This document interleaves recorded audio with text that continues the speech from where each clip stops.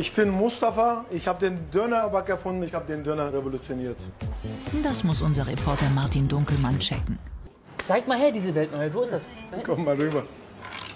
Das ist er. Ja, Guck mal hier. Der hat quasi aus diesem kleinen Laden in Gera die Dönerwelt auf den Kopf gestellt. Das finde ich mega interessant. Auf die Idee kam Mustafa vor 16 Jahren. Er hat genau analysiert, wie die Leute ihren Döner essen. Seine Idee, ein Döner, den man im Supermarkt kauft und zu Hause aufbackt. So soll alles frisch sein. Warum sein Döner aber so ganz anders aussieht, dazu später. du tust das im Backofen, zwölf Minuten später hast du deine frische, frischeste Döner, die mal du jemals gegessen hast. Dann, wo machst du das? Bei mir im Produzieren. Du hast Wir eine haben- Fabrik gebaut oder was? Wir haben eine riesengroße Fabrik gebaut. Das will ich sehen.